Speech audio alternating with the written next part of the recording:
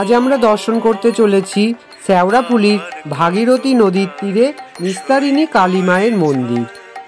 এখন আমরা দর্শন করছি নিস্তারিণী কালী মাকে। এই মায়ের মন্দির সম্বন্ধেও একটি ইতিহাস আছে, আজ আমরা তা জানব। আপনারা সবাই সঙ্গে থাকুন।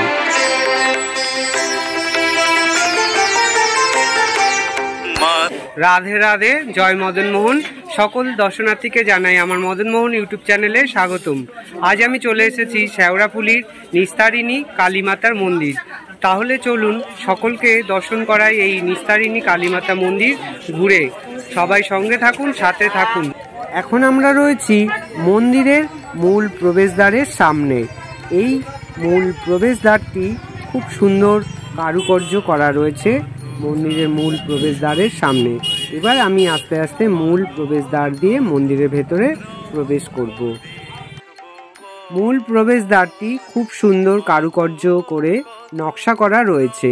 মূল প্রবেশদ্বারের ঠিক বিপরীত দিকেই রয়েছে ভাগীরথী নদী। মাঝখানে রয়েছে শুধু একটি রাস্তা। রাস্তার পাশে সরু গলিটা দিয়ে নামলেই গঙ্গা। এবার আমি আপনাদের সকলকে জানিয়ে দিই যে এই মন্দিরে আসতে হলে কীভাবে আসতে হবে। হাওড়াগামী লোকাল ট্রেন ধরে এসে নামতে হবে শ্যাওড়াফুলি।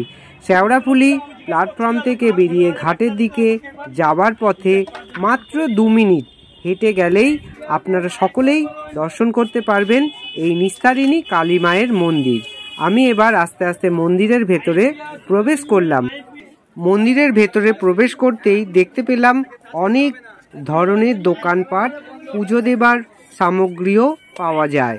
আপনারা এখান থেকে পুজো দেবার জিনিসপত্র নিয়ে মাকে পুজো দিতে পারবেন। চলুন তাহলে এবার এই মন্দির সম্বন্ধের ইতিহাস জেনে নেওয়া যাক। বহুদিন আগেকার কথা। এখনকার শ্যাওড়াফুলি তখন সারাফুলি নামেই পরিচিত ছিল। ভাগীরথীর তীরে এই সারাফুলিতেই স্থাপিত হয়েছিল নিস্তারিণী কালী মায়ের মন্দির।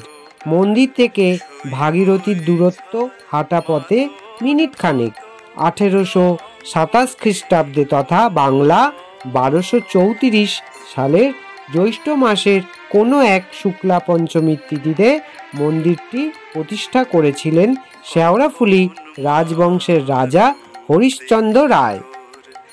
রাজা হরিশ্চন্দ্র রায়ের মন্দির নির্মাণের পিছনেও রয়েছে একটি অদ্ভুত গল্প। লোকমুখে শোনা যায়, হরিশ্চন্দ্র ছিলেন পরম ধার্মিক, নিষ্ঠাবান ও দেবী কালিকার ভক্ত। তিনি একবার স্ত্রী হত্যার দায়ে জড়িয়ে পড়েন। অনুতপ্ত ও অনুসূচনায় জর্জরিত রাজা কাউকে কিছু না জানিয়ে বেরিয়ে পড়লেন আত্মহত্যার উদ্দেশ্যে। কোনো এক অজ্ঞাত কারণে রাজার আর আত্মহত্যা হয়ে ওঠেনি। ঘুরতে ঘুরতে রাজা আশ্রয় নেন গভীর জঙ্গলের মধ্যে এক বৃক্ষতলে। ক্রমে ঘনিয়ে এলো রাত।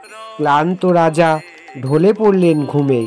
নিদ্রাকালে রাজা স্বপ্নে পেলেন দেবীকে। দেবী স্বপ্নাদেশ দিলেন রাজাকে। তিনি যেন গঙ্গার তীরে মন্দির ও দক্ষিণাকালীর মূর্তি স্থাপন করেন।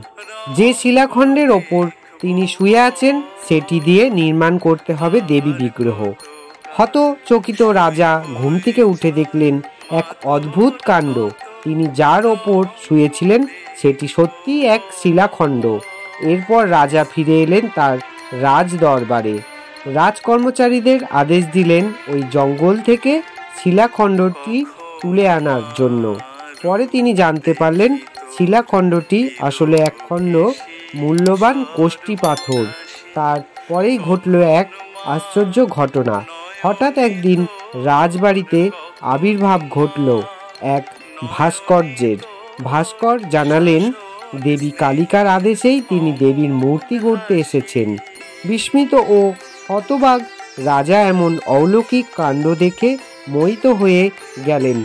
তিনি মূর্তি নির্মাণের আদেশ দিলেন। যথা সময়ে সঠিক নিয়মে গড়া হলো মায়ের মূর্তি। মন্দিরে স্থাপিত হলো মূর্তিটি। এরপর রাজা হরিশ্চন্দ্র মন্দিরের পশ্চিমে নির্মাণ করলেন একটি কুঠির। দিনের বেশিরভাগ সময় তিনি কাটাতেন ওই কুঠিরেই। শোনা যায়, জীবনের শেষ দিন পর্যন্ত রাজা এভাবেই কাটিয়েছিলেন। এই ছিল এই নিস্তারিণী কালী মায়ের মন্দিরের ইতিহাস।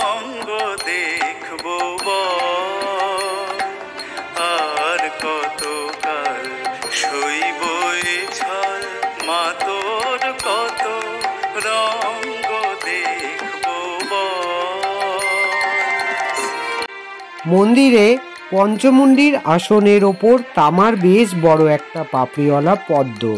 তার ওপরেই দুই হাত মাথার দিকে তোলা মহাদেবের বুকের ওপর দাঁড়িয়ে মা নিস্তারিণী।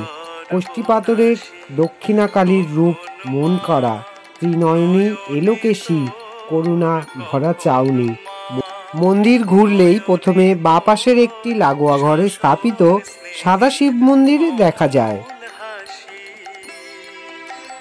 এবার আপনাদের মন্দির চত্বরটা পুরো ঘুরিয়ে একবার দেখিয়ে দিই। আপনারা দেখে নিন। আপনারা আসলেও দর্শন করতে পারবেন এইভাবেই। কত রঙ্গ দেখব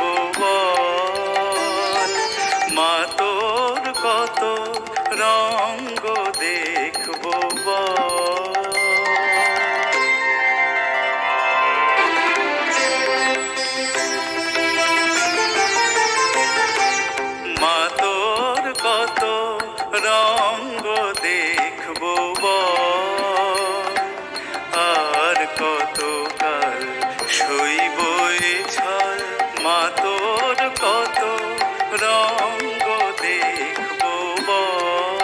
তাহলে বন্ধুরা, এই নিস্তারিণী মায়ের মন্দিরের সমস্ত ভিডিওটাই আপনাদেরকে দর্শন করে দেখালাম। আপনারা সকলেই দর্শন করলেন।